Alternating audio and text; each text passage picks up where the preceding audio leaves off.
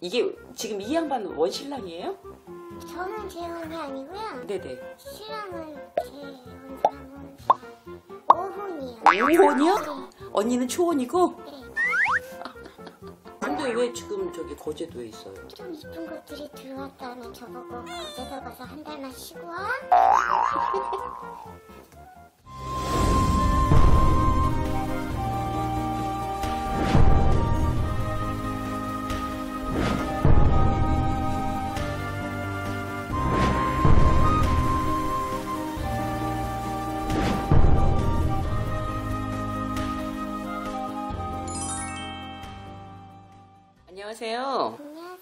네. 어디에서 오셨어요? 거제도야. 멀리서 오셨네. 네, 거제도. 올해는 변동 이동이 되게 심하다. 응? 자리가 불편해. 집도 그렇고 직업도 그렇고. 정리하셨어요? 장사하시다가? 아니요, 남편이 네. 잠깐만 가서 이따가 올라오라 그래서 거제도에 가 있어요. 거제도 사시는 게 아니고요. 네, 원래는 서울 살아요. 아, 서울 분이세요? 네. 근데 언니, 이게 지금 이 양반 원신랑이에요? 저는 재혼이 아니고요. 네네. 신랑은 재혼 사문사 오혼이요. 오혼이요? 네. 언니는 초혼이고? 네. 어, 능력자다. 아저씨가. 아저씨가 네네. 우혼씨가 어떻게 다섯 번째, 그럼 다섯 번째 마누라예요? 네. 오, 능력 있으시네. 근데 아저씨가 재력은 있을지 모르는데. 식당을 되게 크게 하거든요. 근데 본인이 건물이 있어서 네네네. 거기 2층을 통틀어서 식당을 굉장히 뷔페 식당을 크게 해요. 음, 그래갖고 이제 제가 거기 매니저로 처음에 들어갔다가 아, 매니저. 예, 만난 거거든요. 아, 예, 근데 처음에는 월급도 막 더 챙겨주는 거예요. 네네. 200만 원 받기로 했는데 막 100만 원씩 더 주면서 어, 통도 아유 살기 힘들지? 그러면서 막 그래갖고 가끔 가다 또 뭐 자기 백화점 가서 옷 산다고 같이 가자 그러면 제 것도 하나씩 사주시고 막 이래서 네네. 이제 제가 봐드리고 뭐 옆에서 그러다 정이 들어버려서 이제 같이 살았죠. 근데 세월은 꽤 되시고요. 한 19년 마음도 20년 가까이 됐어요. 그럼 본마누라네. 근데 이상한 게 음, 법적으로 음. 일단은 안 올려줘요. 안 올려줘요? 네. 이 양반이 돈이 많아서 재산 때문에 그러는 거 아니야? 솔직히 저희 신랑이 바람을 좀 많이 펴요.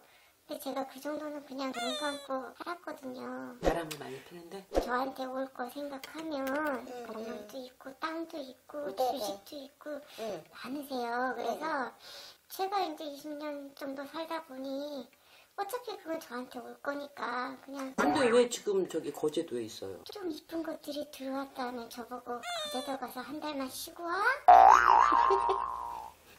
네.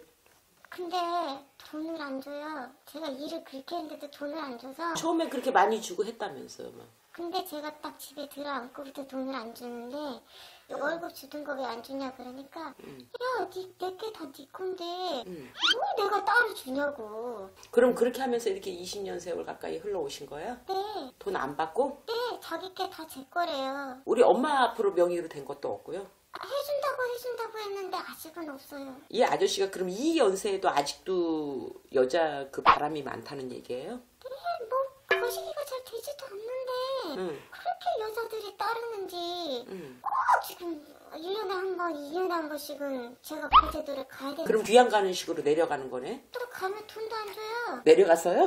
네, 제가 하던 일이 식당 일이다 보니 식당 가서 아르바이트도 해서 돈도 벌고 벌어서 먹고 살고 있고?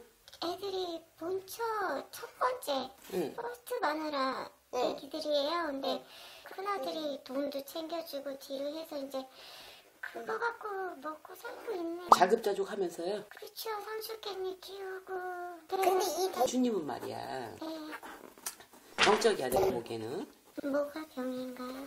우리 엄마가 너무 순한 거 아니야? 벌써 끝내버리든가 안 살든가 했어야지. 이걸 질질 끌어서 이만큼은?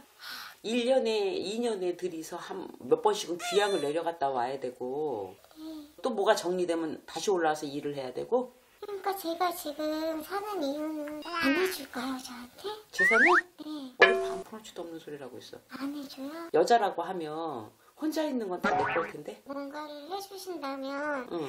그 정도는 눈 감고 참을 수 있어요. 엄마가 꽤 순에 터졌으니까 그러는 거야. 어느 여자가 내려가서 유배당하듯이 가 있다 와라. 그럼 가 있다가 또 대타 역할을 못 할 것 같으면 때려치고 올라와라. 근데 이번에 한 달도 안 돼가지고 응. 저보고 올라오라는 거예요. 응. 승질나서 안 간다 그래 버렸어요. 네네. 그랬더니 이모 인간이 전화를 안 하네? 그 불안해서 그러는 거지? 불안하다기보다 아이 저도 뭐 별로 미련은 없어요. 만약에 전화 한 번 해서 빨리 안 오고 뭐 하냐 그럼 바로 갈 거지. 네.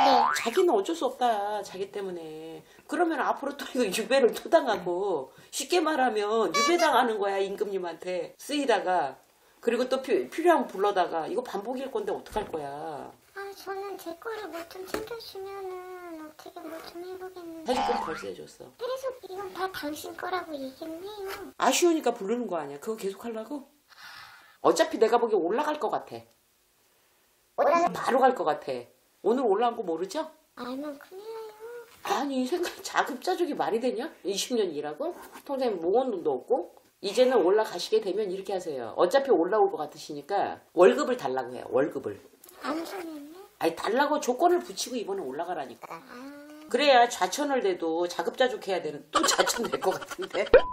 지금 막는 말로 해서 올라와라 임금님께서 그렇게 안 하시면 자긴 그냥 팽당하는 거야. 근데 그럴 일이 있을까요? 임자 만나면 그러란 뭐, 안 그러란 뭐, 뭐 있어.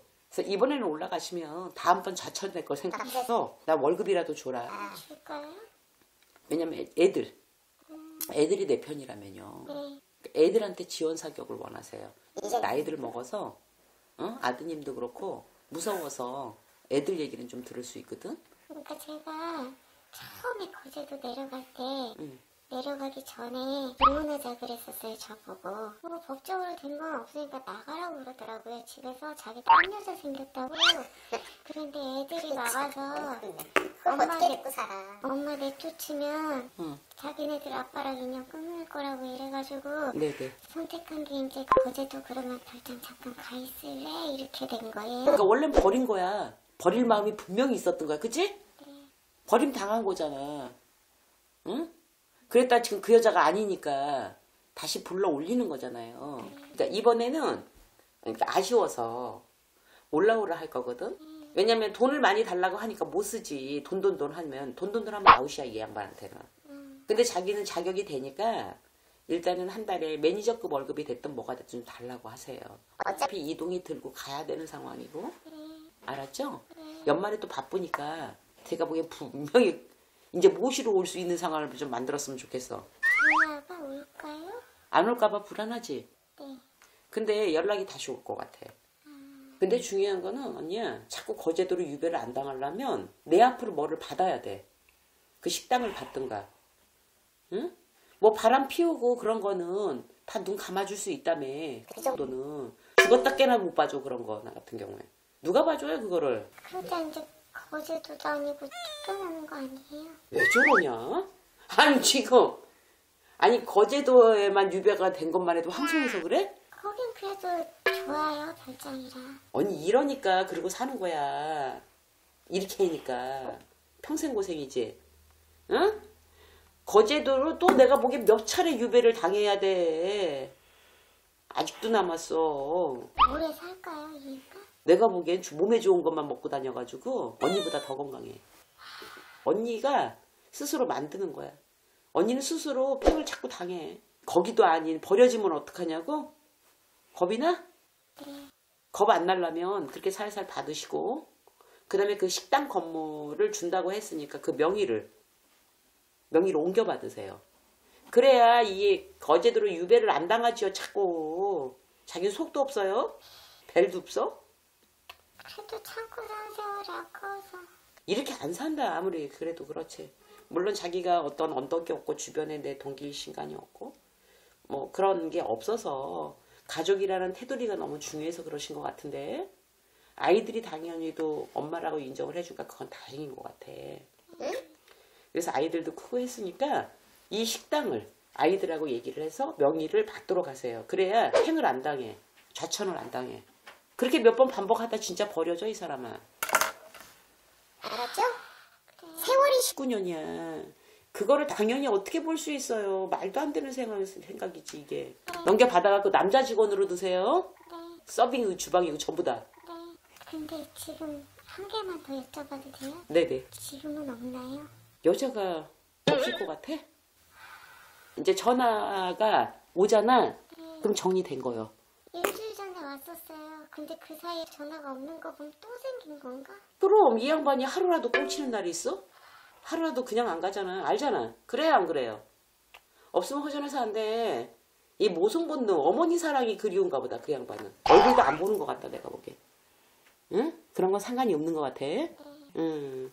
그랬으니까 전화 오면 끝난 거야. 그 틈을 타서 얼른 가면 되겠어. 알겠습니다. 월급 책정하고 가세요. 네. 감 내려가세요. 네. A급. 예. 마누라 대타로 올 수 있는 거 생기면 쫓아내는 거야, 좌천. 좀 가, 가 있어라. 유배 좀 가 있어라. 네. 왜냐면 나중에 써야 되니까 일단 유배를 보낸 거야, 안 버리고. 네네네. 그랬다가, 에이, 이거 아니요. 땡 했을 땐 또 다시 전해서 불러 올리는 거야. 운영을 해야 되니까. 그렇죠. 그리고 뭐 얘기하면 다 네 건데 그게 뭐가 필요하니 이거 네 앞으로 해줄 건데 그게 20년이라는데 아, 이걸 뭐. 어떻게 말을 해야 돼? 근데 더 웃긴 거는 네. 한 번 튕겼는데 그걸 후회한다는 거지. 나 깜짝 아까 웃을 뻔했어요. 한 번 튕겼는데 안 오니까 네. 깝깝한 거야. 네네. 자기 사전엔 처음이야 튕긴 게. 그렇죠. 가라면 가고 오라면 오고 했는데 네. 후회되는 거야 지금. 그럼 그 아버님이 지금 약간 충격받아가지고 좀 그러고 계신 거 아니에요? 여자 생긴 게 아니라? 아니요. 그 아니에요? 사람 하루도 꽁치는 날이 없어요. 꽁으로 안 가요. 여자 없으면 안 돼요. 내가 보기에는 진짜. 오직하면 내가 종업원을 전부 다 남자로 가르라 할까. 그러면 저번 주에 위험해. 한번 거 되게 후회하고 계시는 거 지금 너무 후회하는 거야. 그냥 갈 걸. 지금 당장 전화면 당장 갈 거지? 아마 이 상태 전화면 바로 튈 것 같아. 오늘. 저는 그냥 지금 바로 가실 것 같은데. 내 말, 내 말이 이르기도 드물다. 아유, 진짜 안타까워요.